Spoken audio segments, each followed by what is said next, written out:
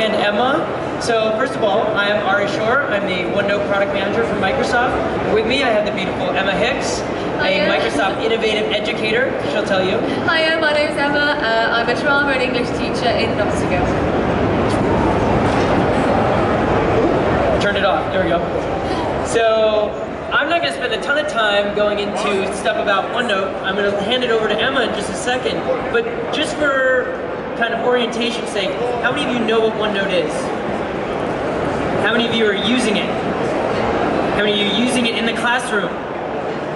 Oh, not that many. So people are using it personally. Oh, we got one guy over here. He's a presenter. He doesn't count. So that's great. Those of you who are here are going to learn a lot today because you stuck around. So what is OneNote? OneNote, as some of you may know, is an ultimate digital notebook. So it's a, basically your typical notebook that you have with uh, paper and spiral notebook, but it is a digital notebook, meaning it is across all of your different devices. So you can organize it however you like with sections, pages, tabs, however you like, and then it's searchable. So that's that's the real benefit of having it digital, is you can search across all of your different information that you put into that notebook. Those types of information can vary widely. So this is one of the things that differentiates OneNote from other Office applications is it really becomes kind of a uh, flexible canvas for different things. So you could put audio and video onto the page. You could put files and documents. So you could take a Word document and put it directly on the page, and then you could circle it using a pen, like on a Surface Pro 3 or even an Android device. So things like that really allow for multiple input methods and really allow for the creativity in the classroom that we've seen across the board. Um, I've just heard many stories at BETT of teachers using it in different ways that I'd never even thought about. One of the things that Emma will talk to you about is the use of screen clippings, the ability to take pictures and input them, them into OneNote. So really taking something in the physical world, like a student's work in a notebook, and then bringing that into the digital world and being able to collaborate on it with the rest of the class. So that'll be really cool to see some of the things that she's doing there. The other thing I'll mention about OneNote before we move on is it's free. So it's a free application across all your different devices. You go to OneNote.com, your students go to OneNote.com, they can download it on their Windows device, Mac, iPhone, iPad, any of the major devices all have native OneNote apps. And then they can also open it in the browser with just a link to that notebook. So one of the things we'll talk about is how you can use shared notebooks, the ability to have a link to a notebook, open it on any of those devices, and have collaboration in real time between students and teachers. But let me hand it off to Emma to tell you a little bit more about how she's using OneNote in the classroom in really cool and innovative ways. Fantastic, thank you. Okay, so to be honest, I've always had a bit of a love-hate relationship with technology. It tends to be the sort of thing that drives me uh, drives me up the wall. And quite often, it's quite intimidating to be out of your comfort zone in that sort of way when you're using these kind of up-to-date technologies. I heard from a colleague and a friend that, um, that OneNote was brilliant for encouraging independent learning, that it enabled you as a teacher to provide that invaluable feedback to your students in a really efficient way. And that's pretty much what sealed it for me, this idea that I could be saving so much time. Because we've all been there as teachers when you genuinely feel like you're drowning in marking. And that's where OneNote really comes into its own. So I started using it my more and most able GCSE English group. And once a week, I would post a question about the novel that we were reading. So in this case, it was Lord of the Flies. I'd post a question. Students could then spend the week researching, taking photos, and they would build essentially a collaborative mind map in answer to this question. This went down really, really well. Students really enjoyed the ownership of their own work, and it was a fantastic way to motivate them to do things outside of school. I then started using it with my A-level media group, and this was fantastic for me as a teacher, but also for them it was engaging for them. And for me, it just meant that I didn't have to worry about students giving me their work, giving me their paper. It was all in one place. They all had a page on OneNote, and they could upload their coursework onto that page, and I could mark that wherever I was. Even if I didn't have a connection to the internet, I could mark it, and then when I was uh, in a place where I had internet, it would upload. So that, for me, was really, really beneficial, and I was also really impressed at the way that the students took to it. It's this idea of ownership of their own work, going on a journey of exploration with OneNote. Okay, it feels more like we're all equal, we're all learning together. However, after I spoke to other teachers at my school, I realised that actually I was only just touching the surface of what OneNote was capable of. So this is where I started trying new things. Show you some examples. The first thing that uh, I found was I could use OneNote for my planning. Now I'm the sort of person that quite often I'll get an idea for a lesson or an activity and I just need to get it on paper. Now I was ending up with all these little slips of paper in my jeans and my coat pockets. That's not how I work anymore.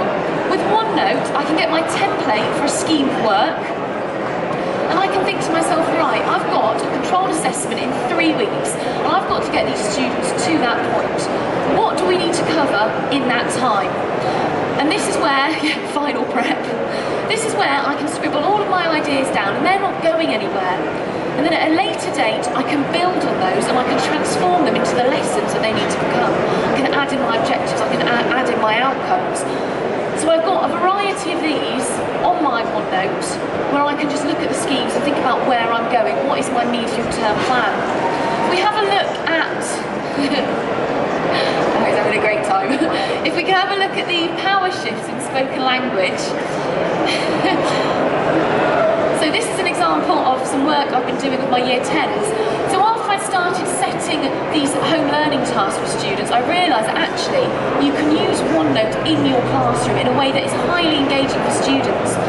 So in this example, we were looking at how, uh, how power in conversation changes depending on the sort of language that you use. So I demonstrated the sort of graph that I wanted students to draw. So they were showing how the conversation would change, identifying the language techniques. I then started walking around the classroom and if I saw somebody working well, I'd take a photo of that and instantly insert it onto the OneNote instantly students are so much more engaged. It's moving away from the idea that I'm going to stand at the front of the room and I'm going to show them the perfect example of work. Suddenly it's their work that we're building on. It's so much more relevant to them, it's their learning. So here we go, we've got a student here and I can instantly write on questions. As a class we can decide on that student's next steps. Later on in the lesson, we can do it again. I mean, it's fantastic for AFL. So here we go, we've got a higher level student here you know, what have they done that's brilliant that we can apply to our own work?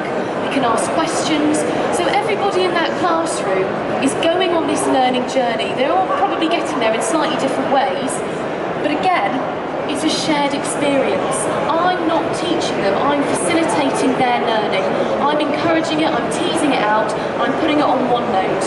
At the end of the lesson, I can email this out to them. I can give them all access to this, which is fantastic. So it's there, it's permanent. If we have a look at annotations, so quite often, if I've got a PowerPoint display, okay, students will annotate it, I'll annotate it. I can then take a, a, screenshot of that and insert it onto a OneNote. Now this is fantastic. Again, it's relevant to students. They're seeing their own work rather than me modelling what I expect from them. So we can see, and I can link it in. So next lesson, I can remind them. I can say, you know, this is how hard you worked last week. I want to see that same focus. You know, you've shown me what a metaphor is. You've shown me that you're capable of that. And then we can instantly go back to that learning and build on that in a way that is really, really engaging for them. And this can build up over time. So Emma, tell me a little bit about how you took maybe a PowerPoint slide like this and brought it into OneNote, and what are what are the things that you did here with, with the drawing and everything? Um, well, what I did was I gave the students a piece of text, and I, I just put it on my surface, and we almost played pass the parcel. So I went off around the classroom, I'm thinking, oh God, is this going to come back to me in one piece? Um, but, uh, but they like it, they get the pen, they choose a colour, they identify language technique. At the end of that process, I can use a snipping tool, or pretty much just take a screenshot of it and insert it instantly onto this. We can then build on it at the end of the lesson. What can we now spot in that that maybe we didn't see right at the beginning? Again, fantastic for AFL, you know, you're really looking at their progress. Okay? I don't know if you want to show some uh, of the A-level coursework. Um, so this is for my A-level group, they'll put their work on, I can use these tags, so a star means something that I liked in their coursework, a question mark, there's something that they maybe haven't answered, and then a light bulb, an idea, something they might want to include. And again, they really like this and it's fantastic for monitoring that progress. So I can see students post their work there, I mark it, they make changes and repost it. So I can see how many times I've marked their work. I can really monitor that journey of progress because it's so difficult these days to make sure that you have evidence of the progress that you are showing your marking. And this is just one way of doing that. And the students love it. Again, it's that idea of ownership. They can peer assess, they can self-assess. My year What are some of the ways that you're doing self-assessment with this, Emma? Self-assessment, it's more of a reflection, so I might say to them, you know, I want you to go away and come back and add on that. So this is a student's work, this is her initial mind map for her product, for her uh, media coursework, and she will come back to that next week. She'll probably use a different colour, and she'll think, right, these were my initial ideas, how can I build on those? And all the time I can look at that, I can monitor her progress from any device. Uh, when we're speaking about feedback, the fantastic thing that, uh, that we heard actually from another teacher this week was, um, was that you can also record your feedback on OneNote, so you can put it onto the student's work and they can listen to it.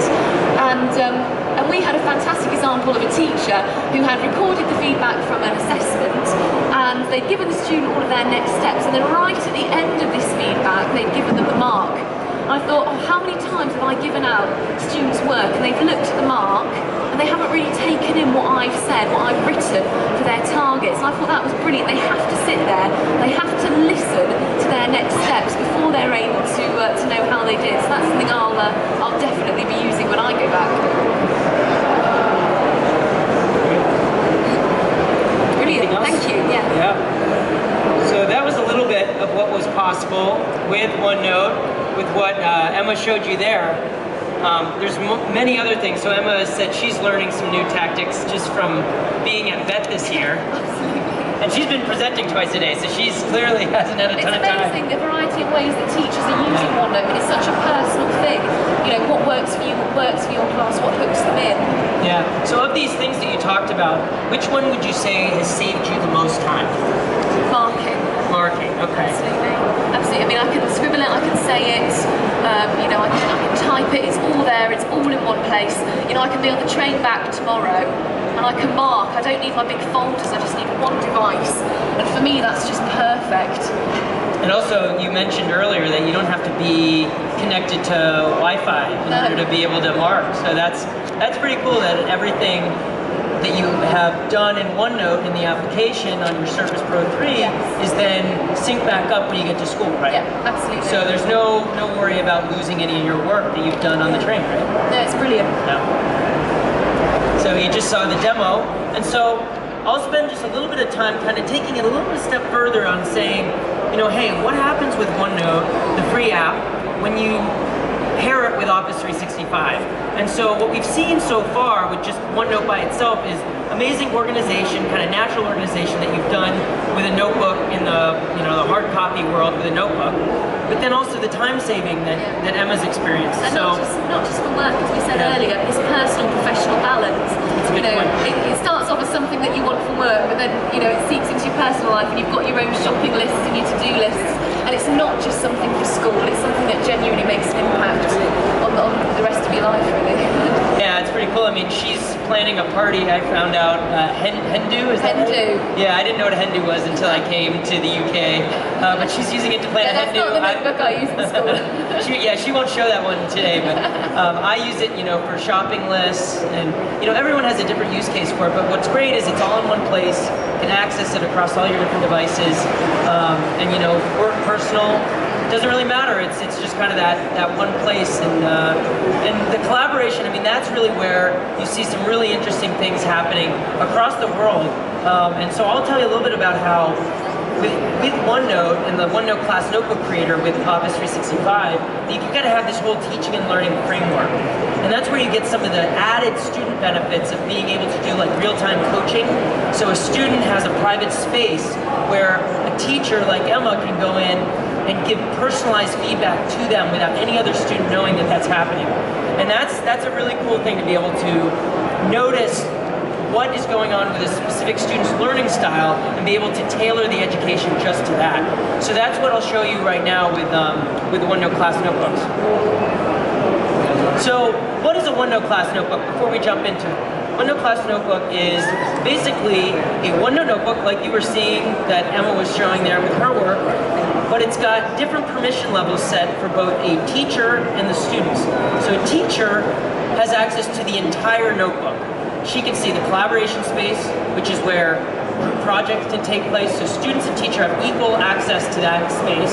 Then there's a content library. So it's kind of like partially permission for the teacher to be able to have full access and then the students to have only the ability to view and copy content from that. So think about it like a digital filing cabinet. So you take, you know, all those hard copy documents, maybe printouts that you've scanned into OneNote, put them in the content library, and then students can then take that and put them in their personal notebooks, student notebooks, and be able to complete those assignments. And so that's really where you get that personalized learning I was talking about of having the students have access to their personal notebook, the two shared spaces, but the teacher sees everything that's going on in the notebook. So let's switch over and I'll show you what that looks like.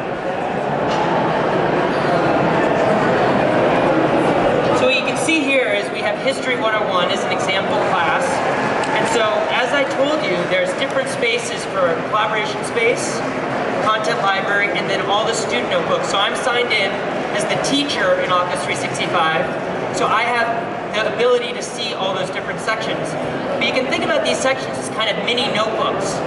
So if we jump in here, you can see there's separate sections within it. So it's a whole hierarchy. So group projects, I jump in here and I can see what's possible with OneNote. Like we mentioned, you know, it's kind of a container for other Office documents. So like if I want to open up this Word document that's relevant to our classical music lesson, I can just open it right up. And it opens up in Word. I can save it, it saves back to the OneNote, the OneNote notebook.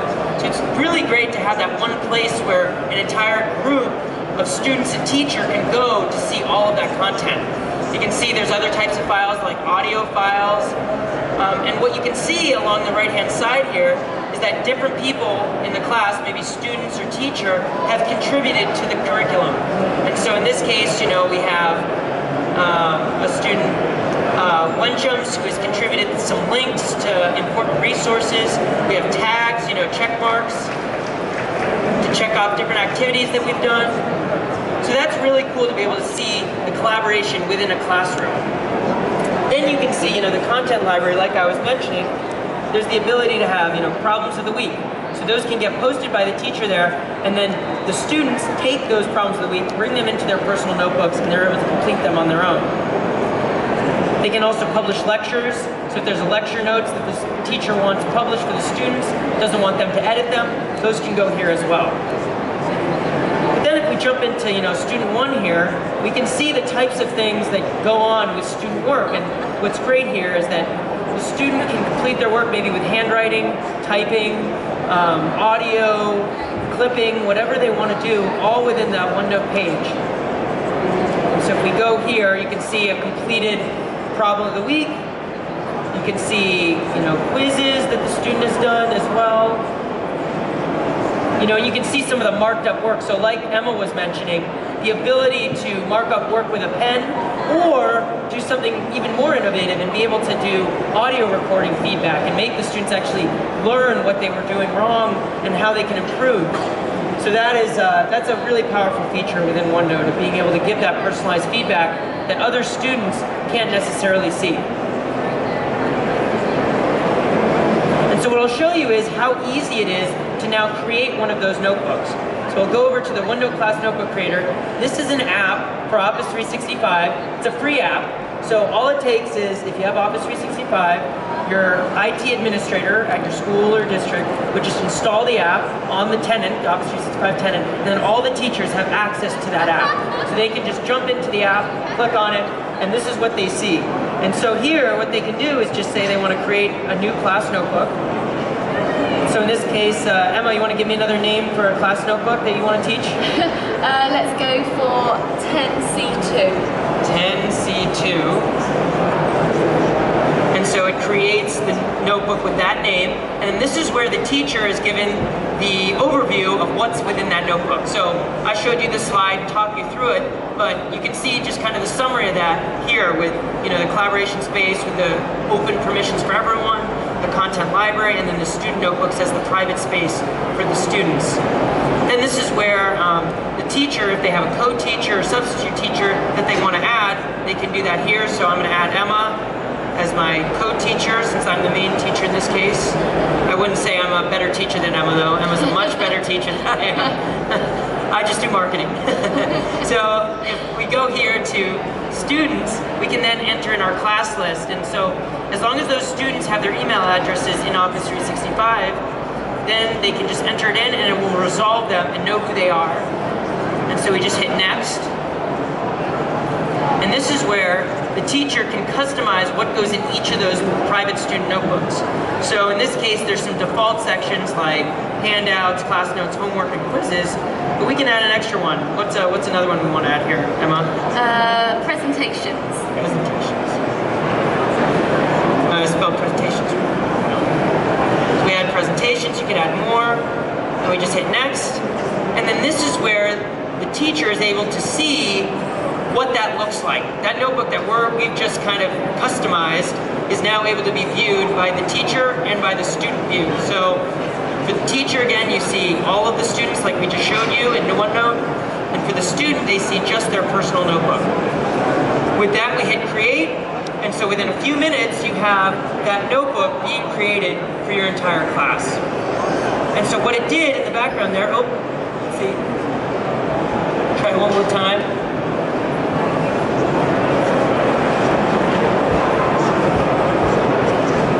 May have lost Wi-Fi there while I was creating. We'll go in here. We'll just jump into a notebook. Got all my classes there. Yeah, we've been creating a lot of notebooks all day, you can my see. Sorted now. So I'm going to open up one of the other notebooks that we created. You'll have to take my word for it that it creates, uh, creates that notebook for you. Um, so what happens is it's, it's starting to open that notebook and in a second you'll see all of those sections with you know students one through five, the content library, you know we customize the sections within the student notebooks and those will all open. But what I'll also call out is you know even though it's a um, you know able to be opened in OneNote for Windows, it's also just a link to a notebook. So you can open it up, you know a student can open it up in their own browser or within uh, their own device. So that's an Android device, iOS device, or Windows device, of course. So just copy paste that link. And so we'll just remove the OneNote at the beginning of the URL just so we make sure that it opens in the browser rather than in the OneNote application. In a second, you'll get the student view to see what the difference is between teacher and student. So here, students have their personal notebook,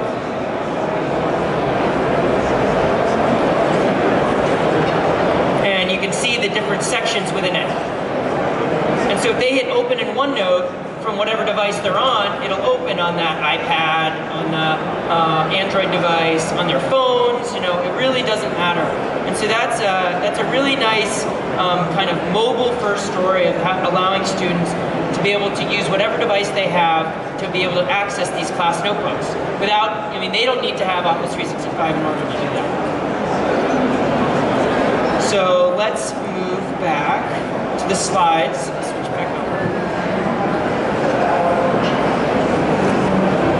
So what you saw there